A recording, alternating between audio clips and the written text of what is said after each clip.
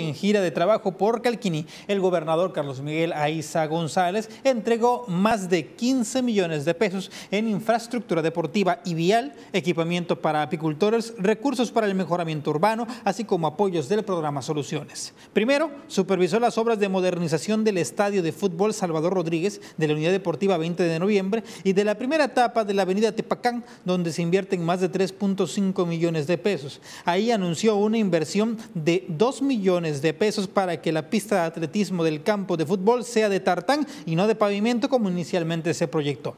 Este nuevo espacio deportivo será sede de entrenamiento de la selección campechana de balonmano y es el único en su tipo en todo el estado.